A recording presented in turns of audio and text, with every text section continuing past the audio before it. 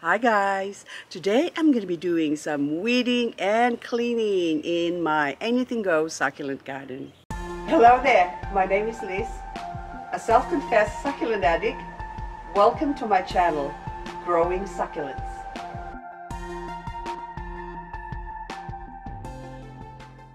So first I got a couple of my afterglow that I need to put over on that side over there so I can complete my five rows of afterglows. There's not that much weed in there, a couple of little small ones that's growing there and also this area I want to put in my variegated prolifica which is just so gorgeous so amazing I have to also find a spot for my subrigida so my subrigida here and also so I got a couple of swan lake here as well that I want to put in the garden. But the subrigida and the swan lake I would like very much to put over here below this crane but I think it will be better suited to be in that area there where there's a lot of weeds. So I need to clean that up I just noticed that my tomato look I already harvested a few from here but I've got another one hiding in there look at that got tomato for my salad tonight and look at them so many fruit Oh my goodness. So I got those stroke stick as well. Three pots that I bought a few months ago that I forgot to plant. But anyway, I'm gonna do all of this now and oh my goodness look at this one. Isn't that gorgeous? What are you? I forgot what your name is. It's flowering. Look at the beautiful flower. Gorgeous. Okay I'm getting distracted again so I better get cracking. So this is the area I want to put my subrigida in and also hopefully a couple more plants. Now it will all depends how I feel and the time that I have. And anyway, I just want to show you this Purple Delight that I threw off, I mean threw away. I just sort of planted them. Basically, they were like leaf propagations that I just sort of plonk, literally plonk them in there a few weeks ago and then now they're growing. Look how big they are, all the little ones. Look at that. I thought it's a variegated one, but it's not. So every single one has grown. Look at them along with the weeds. But anyway, oh, this one. See, this is what I'm saying. This one needs watering. Even though we have rain, still, it's not wet enough. See, so probably need some cultivation like this and weed extraction okay so I've got nodulosa here as well and oh my goodness so I better get cracking. Oh this is neon breakers. There you go. I was looking for my neon breakers. I can't remember and then I forgot that I put it here. And also this ones we might as well remove that although the leaves still grow doesn't matter. Now and I can actually put a lot of plants in here. My violet queen I haven't even put on because I mean planted it because I'm thinking of putting something else. So every time I think oh I need to put this and I want to put that but then something else catches my attention and thought that maybe this is a better plan. But anyway I'm gonna get cracking. I just got these bushes. It's been leaning here for a long time and I've been meaning to tie this up. So Hang on, come on.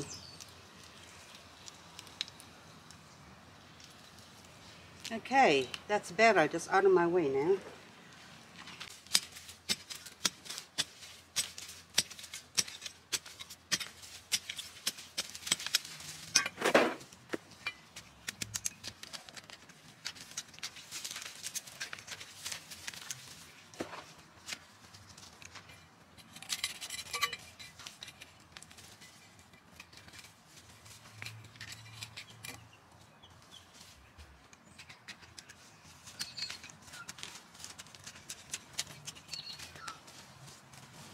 I've got a lot of this erigeron or seaside daisy or something like that. I think that's what they're called. And it just goes everywhere. They're beautiful plants. And if you have a garden that low maintenance, you just want to have something there, they're good to put in.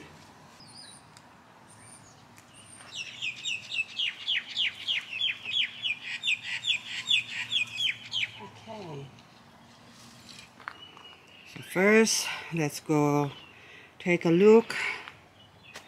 I can only put something a little bit closer here because I still need access later on to go to the top and put some lights on that butterfly. And speaking of which I've got another butterfly I have to install as well. So anyway better get cracking. Oh there's a weed inside there that I have to pull up. I'm just about to plant in my subrigida but before I do that I would like to show you the soil that I'm gonna be planting them in. We have a really clayy soil or very clay soil here in my garden and I've already put a lot of clay breaker to break down the clay because it was really really clay. It's almost like you can make pottery out of it. This is the type of soil I get from here. So look at that that's very very clay and that's already been mixed up with my garden soil and also compost of course now this has taken about 10 years to sort of break down into what it is now. So basically the soil I'm planting most of my succulents in, even on the other side of my garden over there, that is all clay soil. So I just put in my fulgens and when I put it in, of course, the soil that I'm using is my Master Succulent Soil Mix. Now, I just scattered the soil in there and also put in some Seamungus as fertilizer, basically. So once a year, I normally throw in Dynamic Lifter over the whole area of my garden or everywhere in my garden here. But this year, I didn't even get to do that. I was just busy with so many things that I forgot to do that. But Anyway, so that one, now the Fulgens, the reason why I planted that there, minus four is all it could take. And then after that, it will suffer from the frost. So what I did is plant it, see the pot is sort of protecting it. And this one as well, this evergreen, this is an evergreen, I forgot what it's called, this tree now. This is sort of serving as a protection when winter comes for that fulgens here to not get killed by the frost. And my subrigida, which I'm going to be planting in this spot here, which is also not frost hardy or not that frost hardy, I will be providing some sort of covering for that one when winter comes. I can't explain it now, but when, when winter comes, it's almost like a song, then I can show you what I'm going to be doing or I'm putting a shade cloth basically. That is the reason why for this rack. So I can have that pole there. So the black pole here. And also this pole here, which I've got my light in there. So that's still going to change. I might put a pot or something there. And also I'm putting another one here. So it's got a triangular area where I can put my shade cloth during winter so they don't get damaged by the frost too much. They will still get damaged a little bit, but at least they can survive our winter frost.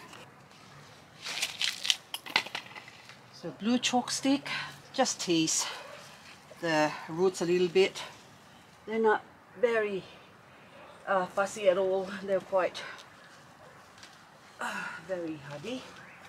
So I'll just put the chalk stick in first and that actually contrasts nicely with my fulgens over there. And then now next one here.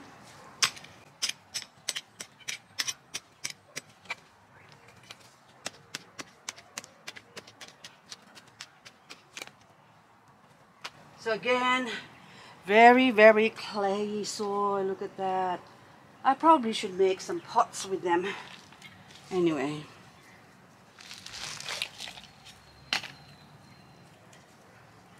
go. I'll just tease you a little bit. That's fine. And I'm just gonna throw in some Seamungus on the top here because I don't know where my Seamungus is. I don't want to go inside, but that's okay.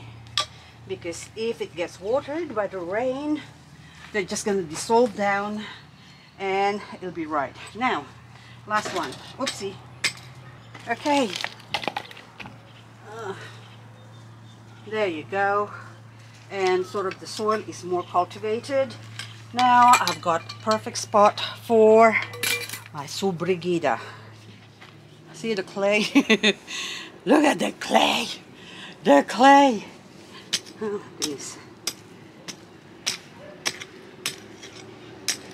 But they seem to like it. So, I wouldn't worry too much about it. So Grigida, look at that, isn't that beautiful? And where's the other one growing? Growing on the other side, so on this side. Oh, there's another baby in the bottom as well. So there's three plants. Oh my goodness. I thought for $18, I think that's a bargain. I got one to another baby there. So maybe I'll do it this way. Uh, so I can harvest the baby. That will correct itself anyway. Now, okay, let's go. That's it. And so, so far, the foundation plants basically are those. So now I need to put in some more. I have to go at the back and see what plants I've got. So far, I got my blue moon in, yay! And also, I got my Sedeveria blue elf. So I got my cotyledon, Pachyphytum compactum, and a couple of white rocks and also my dusty violet Tori over here and so Brigida in the center Senecio also managed to put in a couple of Sedeveria Marcus or also known as uh, Myalin and Fulgens also I put my golden goddess hiding over there and hopefully that's gonna be protected from the frost. It's now 7 o'clock, so I have to stop because it's getting dark.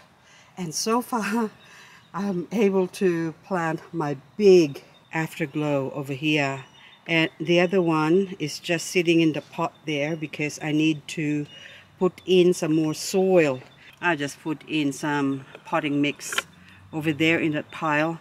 And the whole potting mix in the bag stank. It just stank. It stank. It stank. It stank.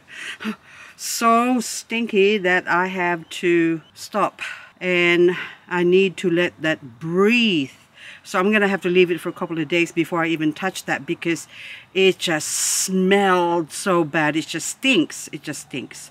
So anyway, I still haven't finished this area, but at least I've already put in a lot of plants so Glottiphyllum is now nicely secured there because I'm not really too sure about the hardiness of that plant there next to the afterglow. And I got my variegated prolifica sitting next to my candy, next to my dondo, next to the swan lake, and also Graptoveria uh, ruby blush, I think. Or something like that. Or pink ruby. Or whatever. Something with a ruby. And more of the variegated prolifica and sedum I put in a lot so much plants and the best one of all is I was able to fill up this pot which has been sitting there for a long time that is a Graptoveria rubra which is just so gorgeous I love, love, love, love the color. But you can see that it's already forming some aerial roots. So I'm to have to remove that one. Oh, that other one too. Oh, it's from the other side, but it doesn't matter. This is very easy to grow.